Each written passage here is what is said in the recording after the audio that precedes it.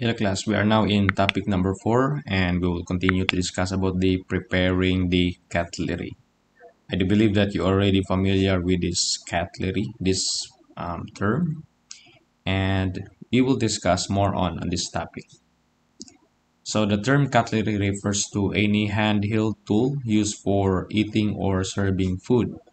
Also called silverware or flatware cutlery items include spoons, knives, forks, and tongs.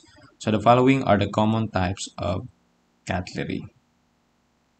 Again, the synonyms or the other term used for the cutlery is the silverware or flatware. Okay, so there are establishment that are using flatware. There are other establishment that are using silverware instead of cutlery. So if you will hear the word cutlery, silverware, or flatware, uh, it is the same. So I will show to you first about the examples of the common um, types of cutlery or common types of spoons. So we have here six types um, common cutlery spoons. We have serving spoon, dinner spoon, dessert spoon, parfait spoon, soup spoon, and teaspoon. So for example, the um, serving type is a family type. So we can get the rice from the different platter. So we're going to use serving spoon in order to get the um, rice and we'll transfer it to our dinner plate or in our own plate. And then if we will eat the food, we will going to use the dinner spoon. And then if there is a dessert, we are going to use the dessert spoon. And we also have parfait. Uh, it is not common.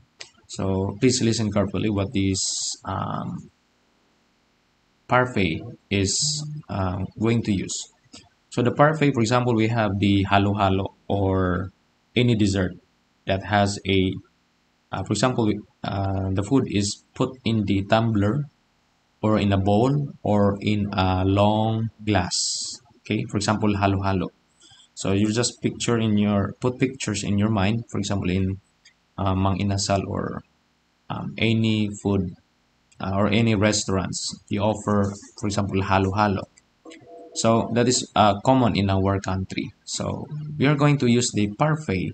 This is a long spoon okay? Because for example uh, usually the halo halo is have a, a big or long container okay so they are going to use the parfait this long spoon in order to for example you need to mix the food or you will get something on the ingredients coming from that kind of food for example halo halo so we're going to use the parfait. So this is called parfait. And we also have soup spoon. So if you're going to eat soup we're going to use the soup spoon. And we also have teaspoon used for the teaspoon or coffee and then we also have different types of forks or cutlery so we have serving fork dinner fork, salad fork, dessert fork, fish fork, seafood fork, and fruit fork. So the serving fork is the partner of serving spoon. Dinner fork is the partner of dinner spoon. And then salad fork is the partner of salad spoon. Okay. And then we also have dessert and fish. So you're going to eat the fish using the fish fork. You're going to eat the seafood, um, we are going to use um, seafood fork okay? And then we're going to eat the fruit. We're going to use the fruit um, fork okay? For example watermelon or mango. So we're going to use this one. And then we also have knives okay again for the recap cutlery is commonly have a three types. We have spoon fork and knives. And now let's proceed for the knives. So the butter spreader is considered as a knife. So we're going to use the butter spreader if we will spread the butter um, in the bread. Okay so we were going to use the butter spreader. And we also have somewhat the same like the butter spreader a big type. This is a fish knife okay so this is not a spreader this is a fish knife if we have a food we have a fish food we're going to use the fish knife and also if we have a stick food. We are going to use the stick knife in order to cut the food. And then we also have salad knife.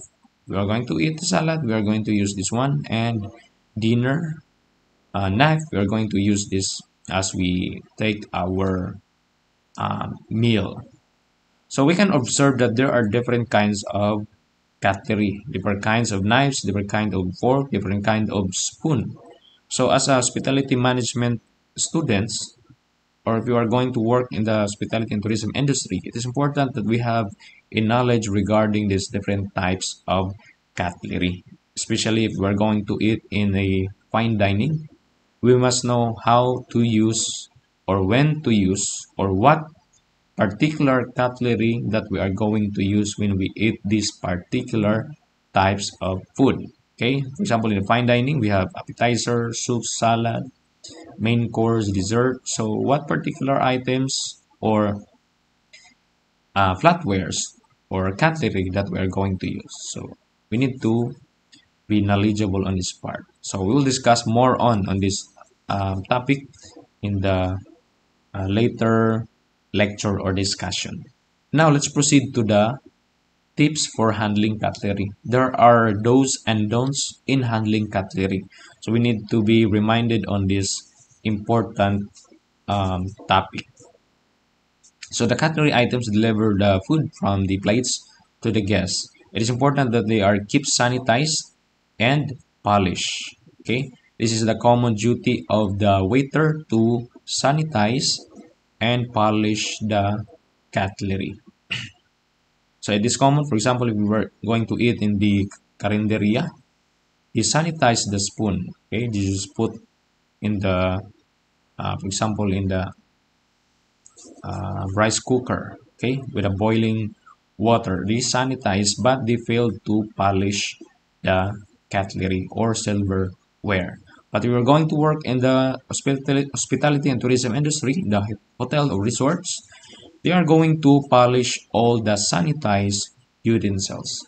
Okay, so again, that is the common duty of a waiter. For example, before the service uh, starts or after the service, this is the common duty of the waiter to polish all the um, utensils cleaned by the stewards. And then it is important that we will sort the cutlery. I do believe that you are familiar uh, with this term. This is one of the five S of good housekeeping. We need to sort the items depending on the types. Okay, for example, this is for spoon, this is for fork, this is for knife. So we need to keep that.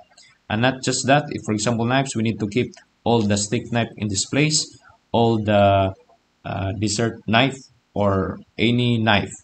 Okay, butter spreader or fish knife we need to sort it so that we can easily find if we are going to you know locate these um, specific items and we need to put it in the proper place in the utensil organizer for example if you are you know out of duty it is easy for the other employees to find the cutlery because you already put it in the proper place and the next thing, it is important that you need to hold the cutlery items by the handles. Okay, you need to hold the cutlery items by the handles. So which part here is the handles? Which part? So this is the handle part of the cutlery. Okay, all this part within this line. This is the handle. So we need to avoid touching in this part okay? Because this part will um, is very you know we need to keep it. Uh, we, are, we should not touch it by our bare hands so that we can avoid the contamination. Because they have the direct contact with the food and also to the mouth of the guest. So we should avoid holding or touching on this part instead we are just uh, we need to touch or hold the items only on this part okay? The handle part of the cutlery. And then use lint free cloth to wipe the surface end of the cutlery items. We need to use the lint free cloth. We need to avoid cloth for example um, cotton a cotton cloth okay? Because as you can observe when you wipe the for example even in the glassware or plates or utensils if you are going to use the cotton there is a certain part of the cotton that will remain on the cutlery or um, glassware or plates okay? So it can affect maybe it can contaminate also the food and it is not good to see that there is something um, trends or clothes on the part of the cloth on the utensils or any tableware. So we need to avoid using uh, cotton cloth. Instead we're just uh, we need to use the lint free okay? And then also we need to place polished cutlery on a under plate. Again it depends on the establishment.